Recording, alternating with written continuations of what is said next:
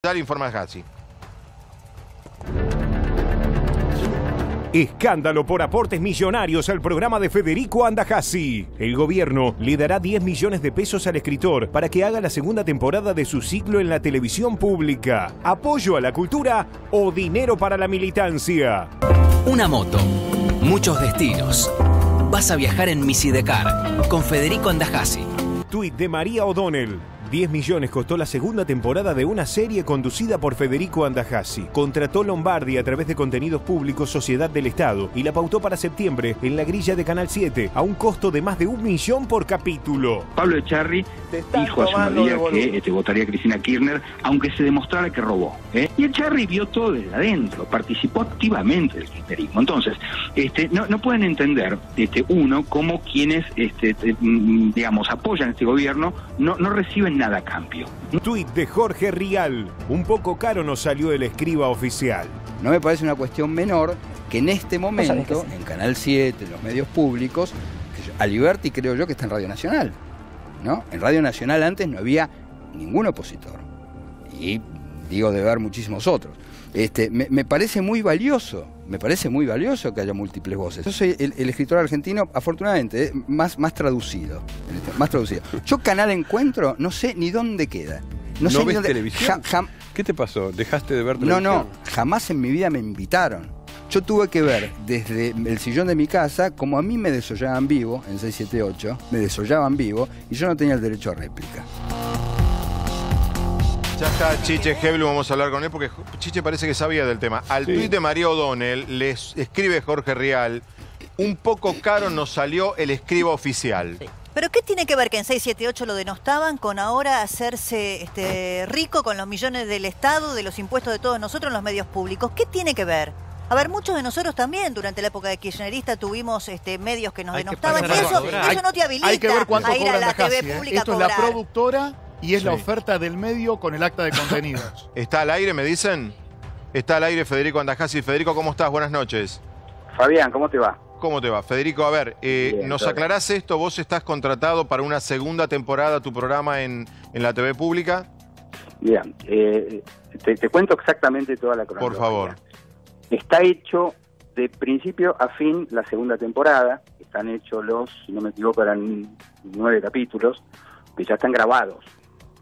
Yo no cobré un centavo, no me pagaron. Estuve trabajando sin contrato. Yo no tengo un contrato con nadie. La última que hablé con Lombardi, le puse un WhatsApp, que lo tengo, es decir, este, donde le digo que a mí no me interesa cobrar un centavo, pero que le paguen a la gente que trabajó, porque era un equipo muy grande y no estaba cobrando nadie. Este, o sea, va de nuevo. La temporada está grabada íntegramente y no me pagaron un centavo. ¿Está claro? A ver si yo te entiendo. Vos lo que querés explicarnos es, bueno, primero hay una demora en el pago, eso es un tema tuyo con, con Canal 7, pero digo con el TV No, pública. no, no, no, no. Pero no, digo- programa mío con Canal 7 pues yo no tengo contrato. Está bien. No- ¿Y, pero, ¿y por qué lo hiciste sin, contrato. co- ¿Y por qué lo hiciste sin contrato? Porque hice una primera temporada Sí. eh, que también eh, empecé a, a trabajar, se hizo el contrato al, no sé, a, a- a la segunda semana de laburo y, y ahora en este caso, digamos, con, con la misma buena fe, empecé a hacer, eh, a grabar el programa, cuando firmamos el contrato, la semana que viene, la semana que viene, la semana que viene, la verdad que la, se- la semana que viene nunca llegó y yo trabajé sin contrato. ¿Y la primera se cobró, la primera temporada? Sí, la primera temporada se cobró. Cuando vos pones hoy en un tweet que hay fake news, ¿qué es lo de fake news de la noti- de la información? Que parece que yo hubiera cobrado, no sé, 11 millones de pesos. Sí, pero Federico, si me permitís, pues sos un señor muy preparado y sos muy inteligente, sabés que tengo un respeto por vos, que, que no te estoy... Eh, la cuestión de cuándo te pagan, con todo respeto, es secundaria, porque te van a pagar. No, eh, la ¿Vos crees que, el- no, que no. canal, la TV pública no te va a pagar? No me, no me van a pagar, porque es más, yo le digo a Lombardi, lo tengo viendo en WhatsApp, no me interesa que me paguen, le pongo, no me paguen, páguenle a la gente. La verdad es que yo lo, lo- lo doy por perdido eso, ¿eh? Hace tiempo que lo doy por perdido. Y así se lo dije a Lombardi. O sea, en, lo- en los más de un 10 centavo. millones de pesos que cuesta estos nueve capítulos con IVA, ¿vos no cobrás sueldo? No cobré un centavo. Y en la primera No cobré ¿En la temporada, primera temporada tampoco conductor. cobraste sueldo? Sí, en la- eh, eh, eso está pagado. Yo cobré un sueldo como conductor del programa. sí. ¿Y cuál Sí. es el porcentaje de ese sueldo que cobraste la primera temporada? O sea, ¿cuál sería el tú por Mira, el- el- ¿Cuánto el- cobrarías, sería- cuánto cobrarías como conductor de estos 10 palos si te pagaran? 70 mil pesos por capítulo. Ahí va. Por capítulo, perfecto. Sí. ¿Y eso lo vas a cobrar ahora cuando te paguen? No lo sé. La verdad es que no lo sé porque no tengo contrato, no tengo forma de saberlo. ¿Qué Entonces, productora es? perdón, no de entiendo. 70 mil pesos Pero por no capítulo. pero montón. estoy perdido. ¿Se, se hicieron nueve capítulos de un producto que puede no ir al aire? No lo sé si va a ir al aire o no, la verdad es que no lo sé. A ver si me entendés, no lo sé. Federico, Sí, ¿cuá- sí. ¿qué productora es? Porque según tengo este dato, el que cobra aparentemente de los recursos públicos es Rodrigo Daniel Elizalde y la primera temporada te la hicieron 128 muchachos del Vacua y TDA que fueron despedidos, el mismo TDA y Vacua que Lombardi despreció durante tres años.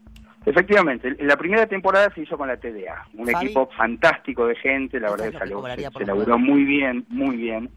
Se disolvió la TDA y esto entonces eh, lo hizo una productora privada a cuyo productor yo no conozco, no sé ni quién es. ¿Cómo trabajás para alguien que no conoces? ¿El nombre de fantasía de la productora? Porque yo trabajo con un equipo de gente. A ver, yo con, con quienes trabajaba todos los días era con el director, con el director de fotografía, con el asistente de dirección. E- esos eran mis interlocutores. Yo no lo conozco al, al productor, no sé quién es. Ahora, Federico, No lo sé. más allá de eso, ¿a vos te parece bien? Digo, vos tenías una posición eh, realmente, hasta hace muy poco tiempo, muy favorable al gobierno de Mauricio Macri. ¿Te parece bien, además de haber tenido esa posición política tan marcada, trabajar en un medio del Estado?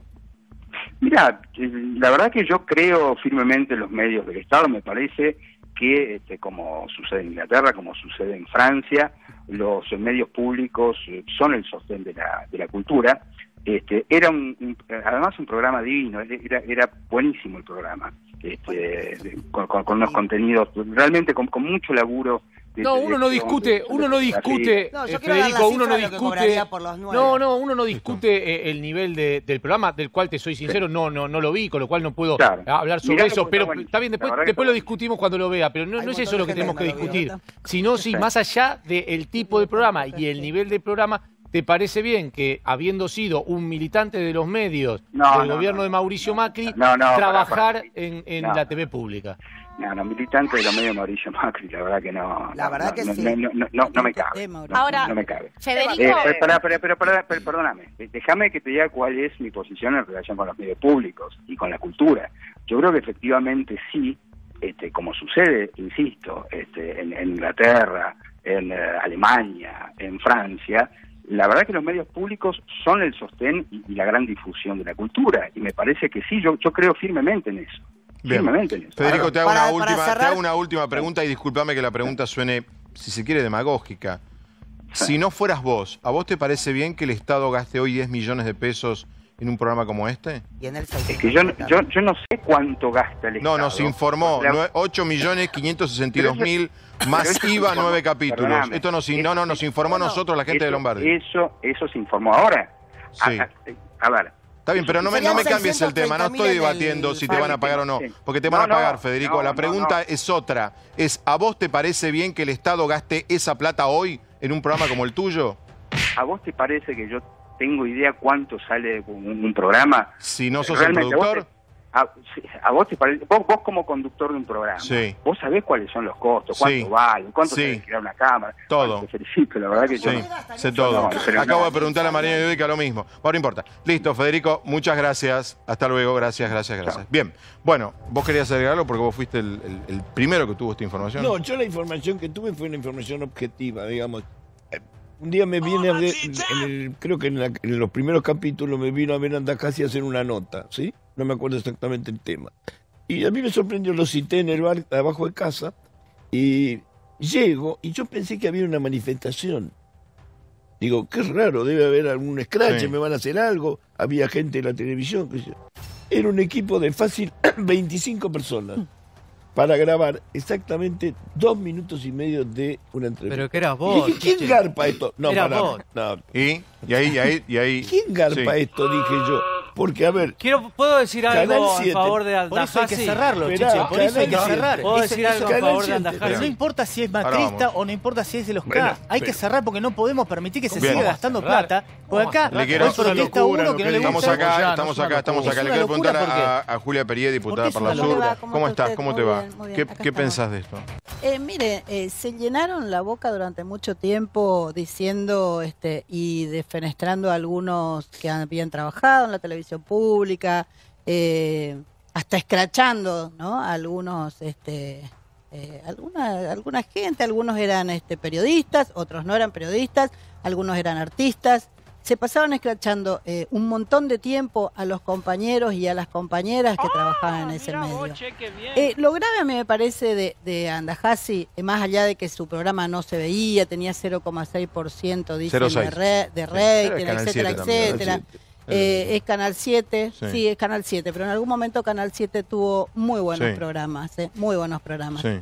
El, el- lo grave de- es su ¿cuál es la diferencia entre comportamiento, es Sí. su comportamiento, el comportamiento que tuvo después del domingo de las pasos No, él con respecto a su Sí, Pero, bueno, Julio, usted pero no no escuchó, puede opinar, espere, pero no espere, puede cuando hacer fue Andrea una del Boca, a ver, Julio, la gravedad de, la- de las publicaciones que tenía Andajasi que hasta se dio, hasta él se sintió avergonzado estamos y que las tuvo que borrar. Que- es que me parece que. Andajasi eh, eh, tiene una- unas pero Julia, no situaciones estamos- completas No, no que, hay que que verlas. Perdón, vos Quería querés decir decir- algo a favor, lo último. Sí, a favor de Andajasi, yo creo que él se comporta como la mayoría de los argentinos, es decir, ve una oportunidad en el Estado, como paga el Estado, y siempre estamos con el ejemplo de cómo funciona Finlandia, Sí. tomó el dinero público, paga pero él, sin conciencia. Lo Bueno. cierto